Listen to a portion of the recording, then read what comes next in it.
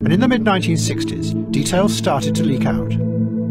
One of the senior members of the CIA, Miles Copeland, revealed that he had been involved in organising coups throughout the world, starting in Syria in 1951. It seems to confirm from the inside many of the people's uh, fears, worst fears, about the way in which American policy is conducted. For example, plotting to overthrow uh, the Syrian government and others.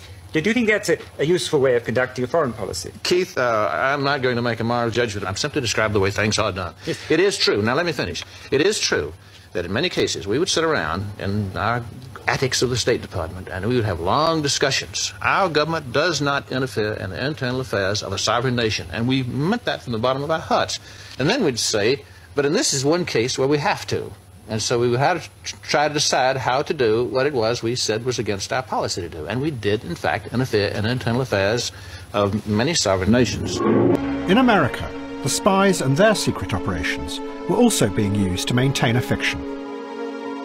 Ever since the Second World War, the American government had been using the CIA to manipulate and overthrow the governments of many other countries.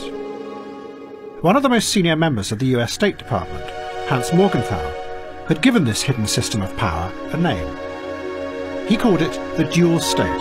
America had to do this, Morgenthau said, because of the harsh realities of power in the world. But it had to be kept secret from the people, because revealing it would undermine their belief in democracy and in their exceptionalism, a belief that was essential in the Cold War.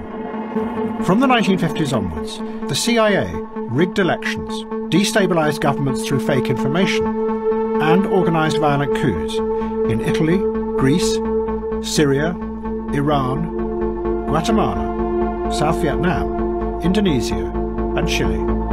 In all, the United States ran covert operations to overthrow 66 foreign governments. And in 26 cases, they succeeded.